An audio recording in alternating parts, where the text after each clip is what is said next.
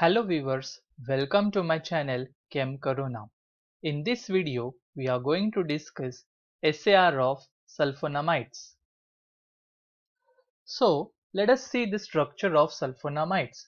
The structure of sulfonamide can be divided into four parts. First is para-amino group. Second, we have sulfonamide group. Third, we have aromatic ring. And the fourth, we have N1 substitution.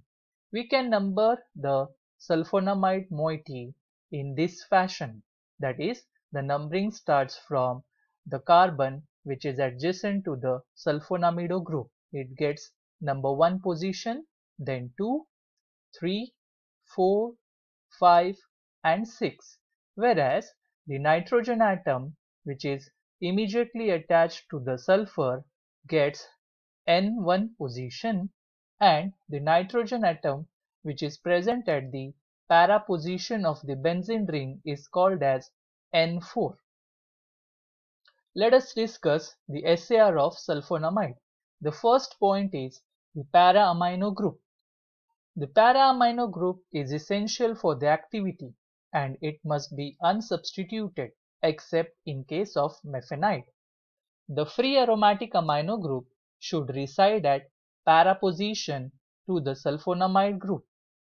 If it is replaced at ortho or meta position, it results in compounds which are devoid of antibacterial activity.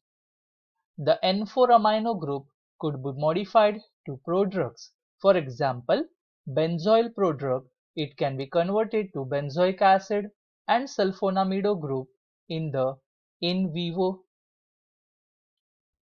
the second point is about the sulfonamide group.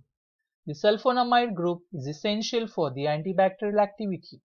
The sulfur atom should be directly linked to the aromatic ring. Substitution of free sulfonic acid group by sulfonamido function destroys the activity. Replacement by sulfinic acid and its acetylation at N4 position retains back the activity. Exchange of SO2NH by CONH group reduces the activity. The third point in the SAR of sulfonamide is about the aromatic ring. The aromatic ring is essential for antibacterial activity. Replacement of this benzene ring by other ring system decreases or abolishes its activity. If we introduce additional substituents on benzene ring, it produces inactive compounds.